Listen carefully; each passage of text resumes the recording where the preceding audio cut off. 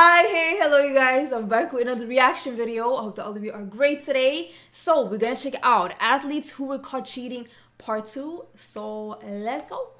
In the sporting world, athletes, coaches, and teams will go to extraordinary lengths to try and get the upper hand. And while some train hard, others resort to foul play to claim a spot on the podium. But once they get hmm. caught, it's game over. With that, let's take a look at even more athletes who were caught cheating their way to victory. Crashgate.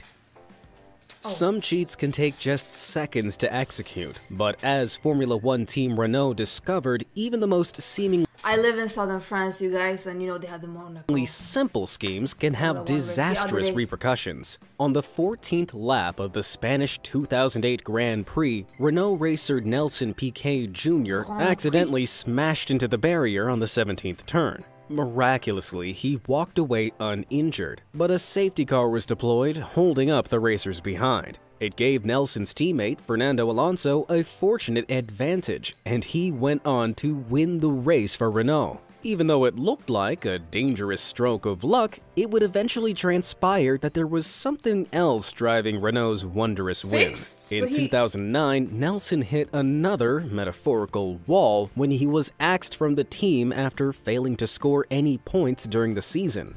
He's losing on purpose? Enraged by the decision, Nelson's father revealed that his son had been ordered to crash by none other than Renault's managing director Flavio Briatore and director of engineering Pat Symonds. These two big bosses had orchestrated Alonso's success by sacrificing young Nelson, threatening to cut him from the team if he didn't go through with it. He was given explicit instructions to crash on the 14th lap at the 17th turn, as there was no crane on that stretch to help remove the car. This would force a safety car at the opportune moment and hand Alonso the win on a silver platter. After a thorough investigation, Renault apologetically admitted to the flagrant race fixing, and the International Automobile Federation banned Briatore and Symonds from the sport. However, the ban was unbelievably overturned by the French courts in 2010, meaning both men were free to return to Formula One by 2013. How agonizingly frustrating is that? Ugh, let's relieve Sheesh. some of that stress for a moment. Corruption.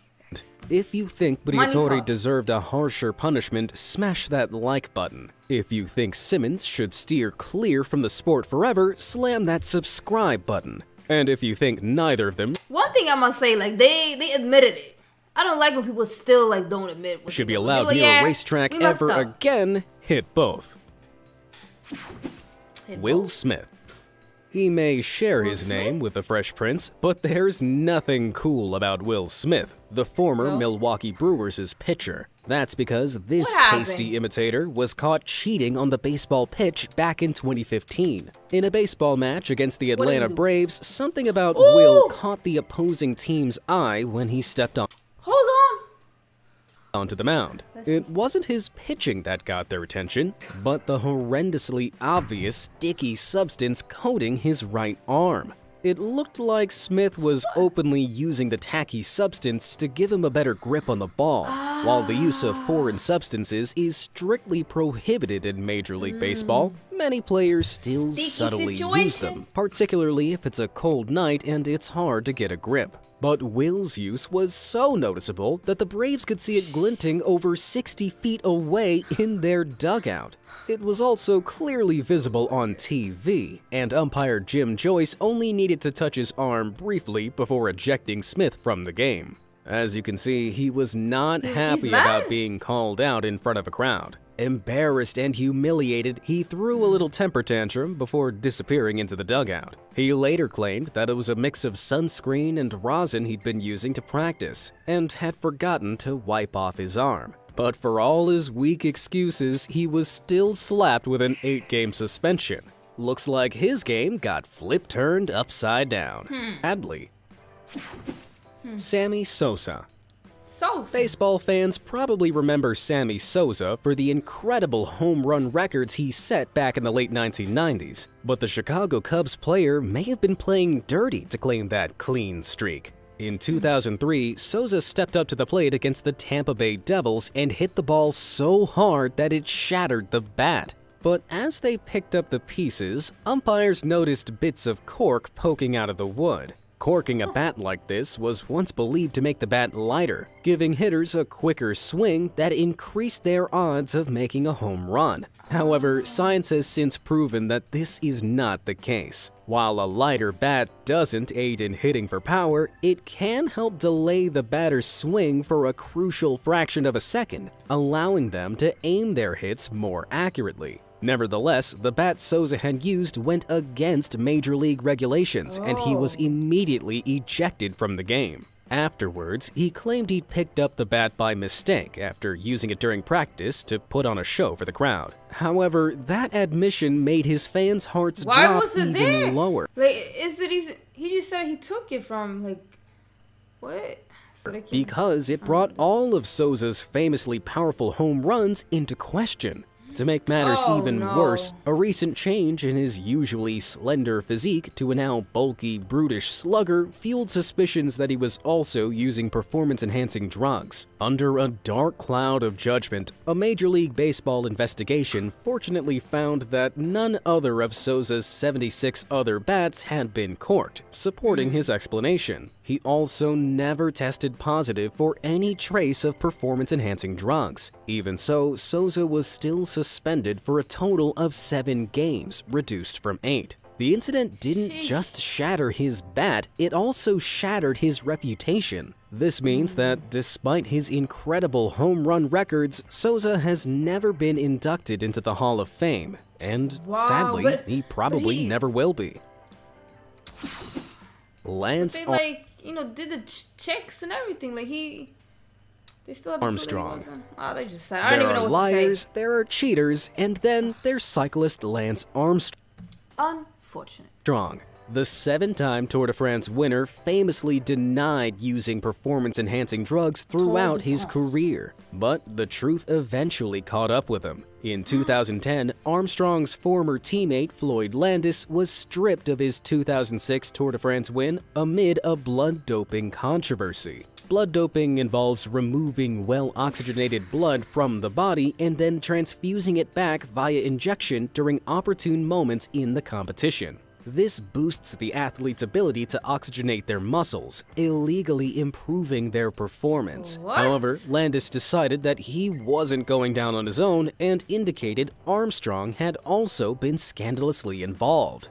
Because both Wow. riders But how can they know? Like, if you just take your own blood out and put it somewhere, like who? Someone is telling you guys. Someone is telling. I mean, he did, but who told on him? Were sponsored by the U.S. Postal Service at the time, the allegations prompted a federal investigation, and in 2012, formal charges were brought against Armstrong. While he vehemently denied the accusations, enough evidence was put forward to strip the champion of all seven Tour de France titles Wow. and ban him from cycling for life. With nothing left to lose, in 2013, Armstrong confessed to years of lies and deceit live on Oprah. In all seven of your Tour de France victories, did you ever take banned substances or blood dope? Yes.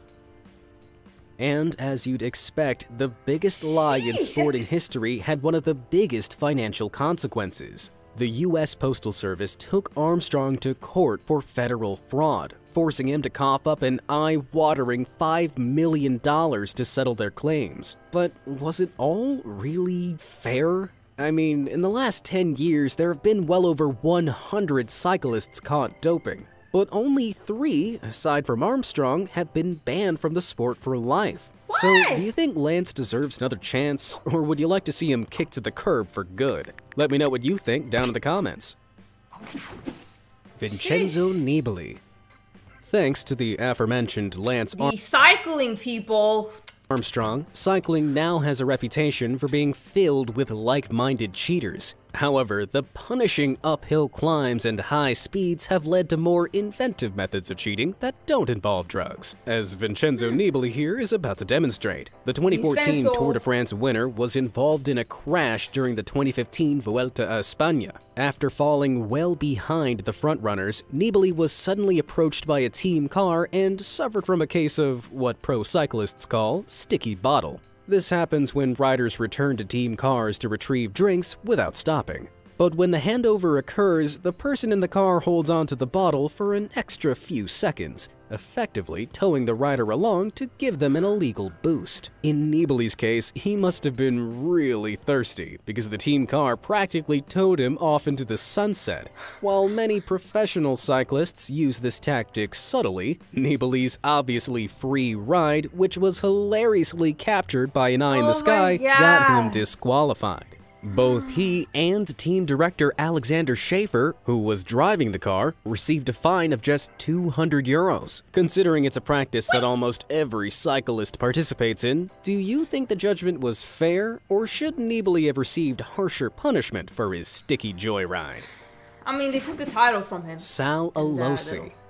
Little 200 Some of football's most famous cheating scandals focus on doping, deflated pigskins, and illegal negotiations. But in 2010, New York Jets strength coach Sal? Alosi found a new way to cheat in the field. In a mm-hmm. game against the Miami Dolphins, Sal went out of his way to trip up Dolphins gunner Nolan Carroll on the sideline during the play. Fortunately, Carroll was uninjured and returned to the game. However, Alosi's But- noticeable knee caught the attention of CBS sport commentators, who rightfully threw him some well earned shade. NFL. Watch the knee here being stuck out on purpose to trip up Nolan Carroll.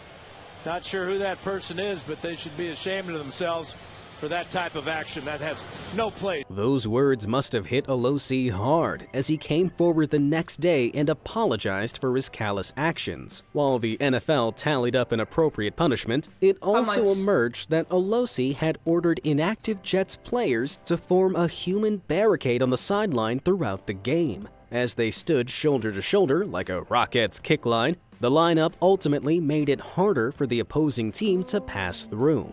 With all the unsportsmanlike behavior racked up against him, Alosi was slapped with a fine of $25,000 and was suspended without pay for the rest of the season. He Oh. resigned from the Jets in January 2011 and hasn't worked in the NFL since. I guess he oh. may have been a decent person like you or I once, but then he took a gunner to the knee.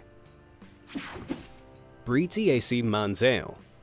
The ex-NFL quarterback Johnny Manziel made headlines recently for cheating on his wife. But if we rewind back to February 2019, his wife, Is that a crime? Even though it's bad. It's very bad. Manziel, also made headlines for cheating. Although also she broke rules, not just Wait, vows. what? The fitness and Instagram model took part in the 2019 Run Like a Diva half marathon, completing the what? What did? Running like a two lap course in 1 hour and 58 Oh minutes with no prior training.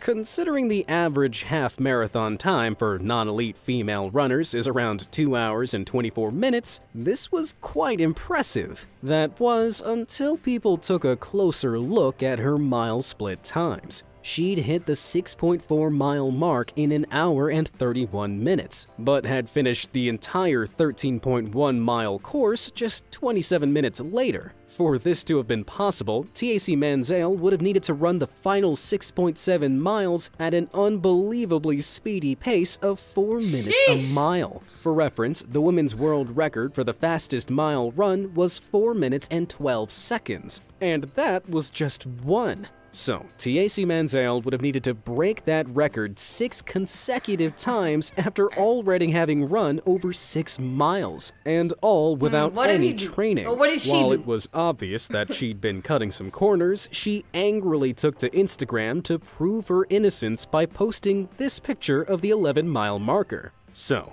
how could she have taken the photo if she hadn't run the whole course? Despite her defense, online sleuths revealed she'd probably only run the first lap of the two lap course, taking photos of every marker along the way. It may have all been a simple mistake of turning left at this point, where she should have turned right to complete the second lap. However, all her bragging on now deleted social media posts and no hint of an apology has left this fitness model looking like an iconic cheater. Must run in the family, I guess. Antonio Ah, Margarito.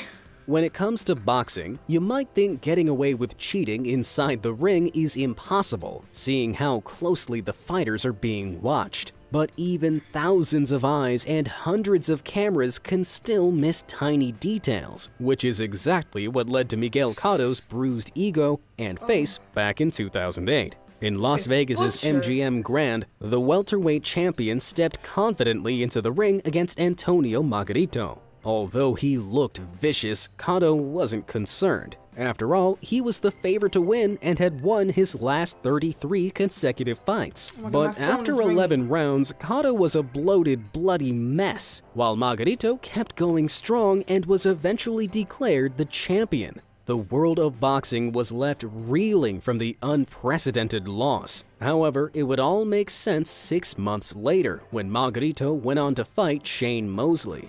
Just before he could slip on his gloves, someone noticed No. strange yellow powder stains on Margarito's bandaged hands. Commissioners cut the tainted wraps off and sent them to the lab, where it was discovered the yellow substance was in fact gypsum. When combined with a liquid like sweat, it would form plaster of Paris, a brick-like substance used in medical casts. It was clear that Margarito had been planning to pummel his opponent with illegally stony Oh, strikes, and sheesh. it wouldn't have been the first time.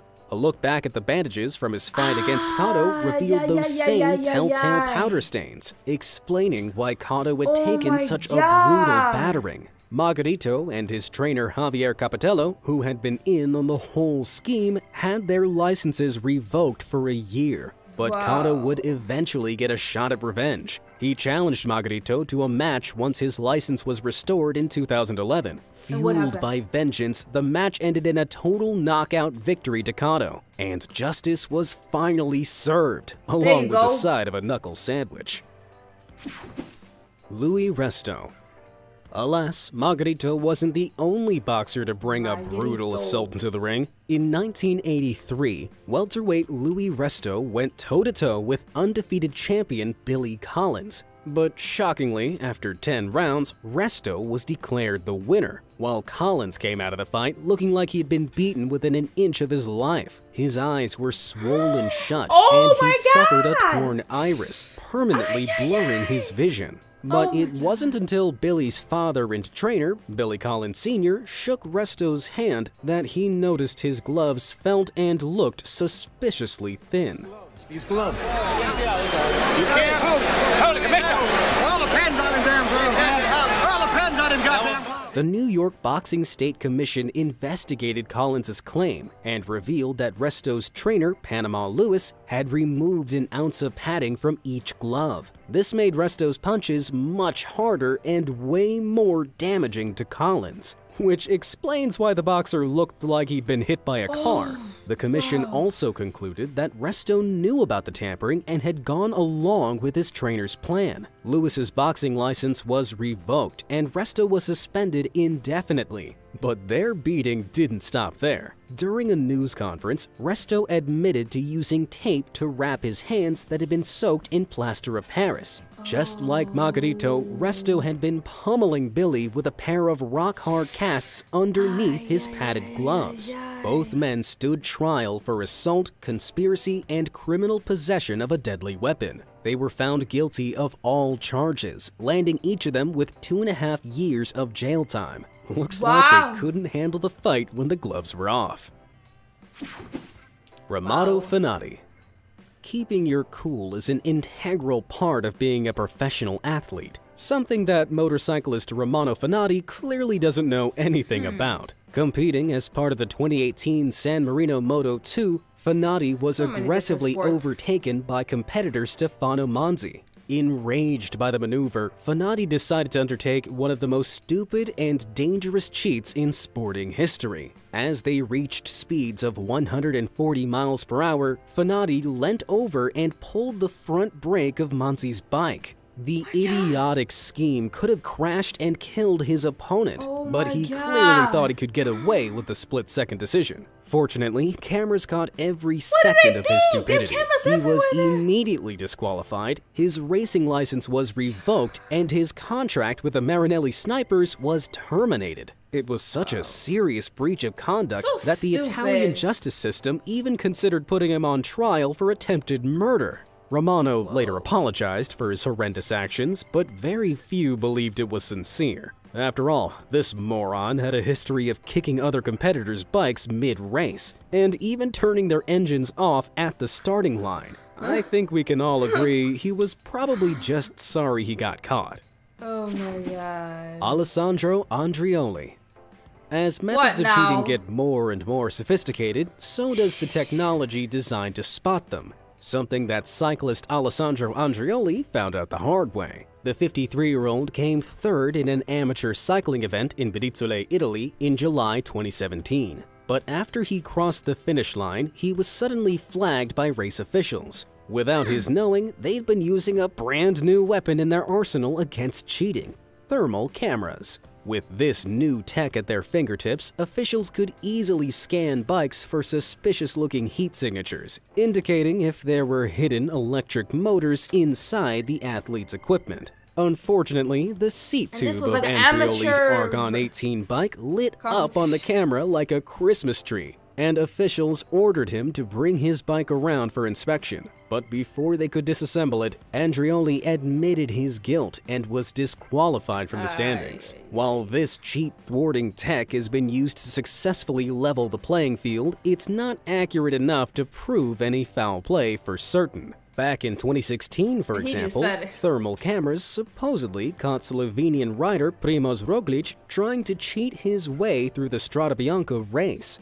Hotspots on the thermal images of his bike indicated there was something kicking out a lot of heat in the rear wheel, more than what would be expected from friction alone. Even though his bike was never checked for a hidden motor, the images were broadcast across French television for the nation to judge. Many believed the rider was guilty of mechanical doping, although Roglic strongly denied the didn't check? But Why further suspicions were raised against him. Just the previous month, Roglic had made a suspiciously late bike change during the Giro d'Italia time trial. While he achieved the fastest time out of the group, this change meant his winning bicycle hadn't been tested for a motor then either.